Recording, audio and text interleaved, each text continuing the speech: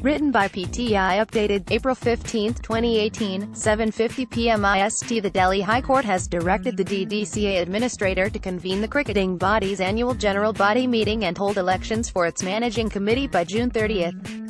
A bench of Justices S. Ravindra Bhat and A.K. Said the results of the polls should be announced immediately thereafter. The directions by the bench came on an application moved by the administrator, former Supreme Court Judge Vikramajit Sen, seeking time till July 15 to hold the elections, for which the court had earlier given eight weeks' time from March 23.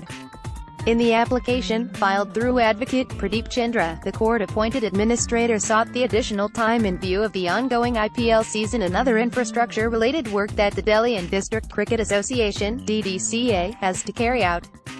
The administrator for proper functioning of the DDCA was appointed during the hearing of a 2010 petition of the cricketing body seeking occupancy certificate from South Delhi Municipal Corporation to hold matches at the Feroz Shah Kotla ground.